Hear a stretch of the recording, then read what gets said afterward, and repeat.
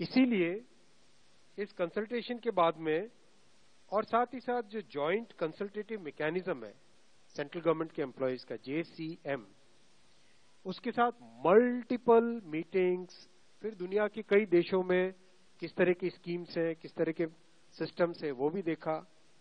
फिर भारत की जो अर्थव्यवस्था है और केंद्र सरकार का बजट है, उसको समझने के लिए रिज़र्व बैंक ऑफ़ इंडिया के साथ वर्ल्ड बैंक के साथ सबके साथ कंसल्टेशंस हुए और इस कंसल्टेशन के बाद में एक यूनिफाइड पेंशन स्कीम का रिकमेंडेशन इस कमेटी ने किया। और आज प्रधानमंत्री श्री नरेंद्र मोदी जी की अध्यक्षता में यूनियन कैबिनेट ने यूनिफाइड पेंशन स्कीम को अप्रूव किया है, इसको अनुमोदित किया है और ये स्कीम अभी आने वाले समय में लागू होगी। इस स्कीम के पाँच पिलर्स हैं।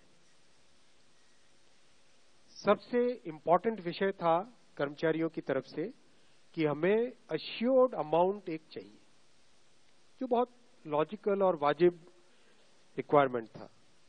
तो इस डिमांड पे एक मेथोडिकल वे में काम करके और एक्चुअरियल साइंसेस जो लोग आगे का भविष्य का रिक्वायरमेंट वगैरह कंप्यूट करने का एक तरीका होता है, जिसको एक्चुरियल साइंस बोलते हैं।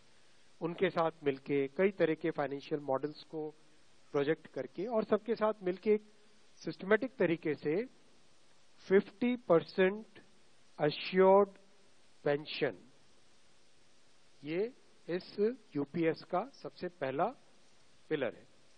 इसकी डिटेलिंग देखनी चाहिए हमें।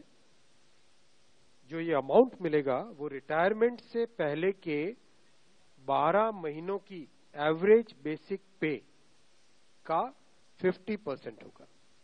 मैं रिपीट कर रहा हूँ।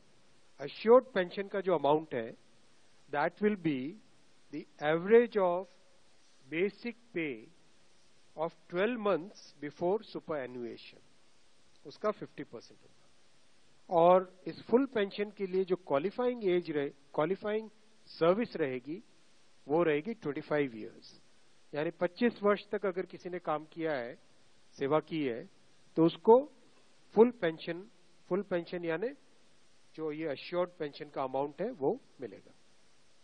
25 साल से अगर कम है, लेकिन 10 साल से ज़्यादा है तो उसमें प्रपोर्शनेट पेंशन रहेगी प्रो रेटा वो पेंशन का अमाउंट बनेगा।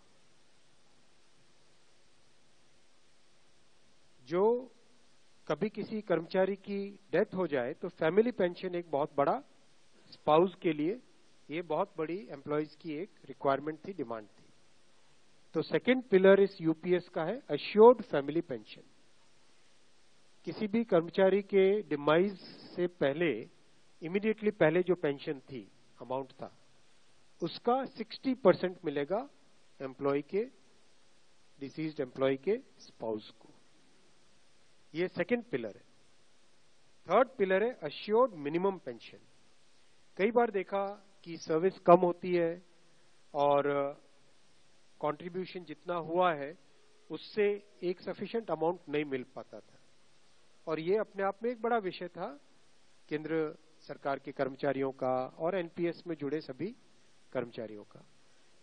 इसीलिए एक minimum assured pension assured minimum pension ten thousand rupees per month वो इसमें यूपीएस में थर्ड पिलर ये रखा गया है। इसके साथ आगे वाले पॉइंट को जोड़ के करेंगे तो अगर डीएनएस रिलीफ यानी महँगाई से रिलेटेड रिलीफ जो मिलेगी तो वो आज की तारीख में होते होते करीब करीब पंद्रह हज़ार रुपए पर मंथ हो जाती है which is a relief part of this entire pension system fourth pillar है इन्फ्लेशन के साथ इंडेक्सेशन जैसे केंद्र सरकार के एम्प्लॉयज़ के लिए सैलरी में डीएनएस अलाउंस होता है, उसी पैटर्न पे जो इंडेक्स है सेम इंडेक्स को यूज़ करके all India consumer price index for industrial workers इसको यूज़ करके assured pension assured family pension और अश्योर्ड मिनिमम पेंशन इन तीनों के तीनों जो आपने पिछले पेज पे तीनों पिलर्स देखे assured pension assured family pension और अश्योर्ड मिनिमम पेंशन इन तीनों के ऊपर इन्फ्लेशन इंडेक्सेशन डीएनएस रिलीफ के बेसिस पे मिलेगा। डी आर डी ए की जगह डी आर डीएनएस रिलीफ पांचवा पिलर है इस स्कीम का lumpsum payment at superannuation in addition to gratuity ये एक तरीके से बहुत ही इंपॉर्टेंट और बहुत ही बड़ी एक रिलीफ मिलेगी। जब सुपर एनुएशन होता है तो उसके बाद में इंसान अपनी लाइफ को प्लानिंग जिस तरह से करना चाहिए, तब कई बड़े खर्चे आते हैं। इसलिए ये लंपसम एक अमाउंट तय किया गया। यह है कि हर छह महीने की सर्विस के लिए monthly emoluments which means pay and DA combined उसका टेन परसेंट अमाउंट तो ये एक अपने आप में सब्सटैंशियल एक अमाउंट रह जाएगा। जैसे मान लीजिए किसी का थर्टी इयर्स की सेवा है तो उसमें करीब करीब छह महीने की सैलरी सोमनाथन साहब दैट्स करेक्ट ना? करीब करीब छह तो उसको छह महीने की इमोल्यूमेंट्स जो उसकी रहेगी पे प्लस डीए मिला के, वो एक लमसम अमाउंट की तरह मिलेगा। ये पाँच पिलर्स को लेके आज यूनिफाइड पेंशन स्कीम अप्रूव हुई है। ये स्कीम केंद्र सरकार के करीब 23 लाख कर्मचारी, करीब 23 लाख एम्प्लॉयज़ हैं, उनको इसका बेनिफिट मिलेगा। ऑप्शन रहेगा। कोई अगर एनपीएस में रहना चाहे तो एनपीएस में रह सकता है। यूपीएस में ऑप्ट करना चाहे which is naturally a very attractive scheme तो उसमें ऑप्ट कर सकता है। प्लस राज्य सरकारें अगर इसी फ्रेमवर्क को, इसी आर्किटेक्चर को यूज़ करना चाहे तो राज्य सरकारें भी इस आर्किटेक्चर को यूज़ कर सकती है।